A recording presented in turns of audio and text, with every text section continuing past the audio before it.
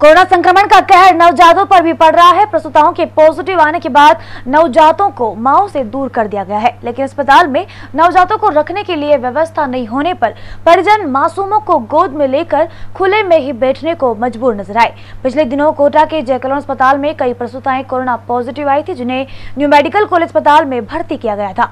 नौ प्रस्तावों को तो अस्पताल के वार्ड में भर्ती कर लिया गया, लेकिन उनके तीमारदार नवजात शिशुओं को लेकर अस्पताल के बाहर खुले में ही बैठे नज़र आए। कंटीली झाड़ियों और सीवरेज टैंक के ऊपर परिजन नवजात को लेकर बैठे मिले। गर्मी और उमस के बीच परिजन नवजात शिशुओं की देखभाल करते रहे।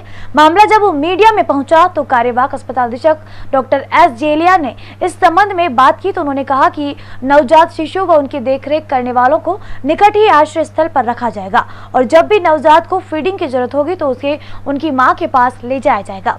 इस संबंध में अभी पता चला है और जिसे तुरंत दिखाकर सही करवाया जाएगा। शिशु बाहर हैं उनके घर परिजनों के लिए रेन बसेरा के अंदर व्यवस्था करवा देंगे इसमें वो लेने रह सकते हैं। और बच्चे को जब भी दूध पिलाना है, ले आएँगे। और वैसे बच्चों को पॉजिटिव माँ के साथ रहने पे कोरोना से संक्रमित होने की संभावना काफ़ी कम होती है, ऐसा स्टडी में देखा गया क्योंकि हम बच्चों के जो विशेषज्ञ उनसे राय प्राप्त कर लेंगे।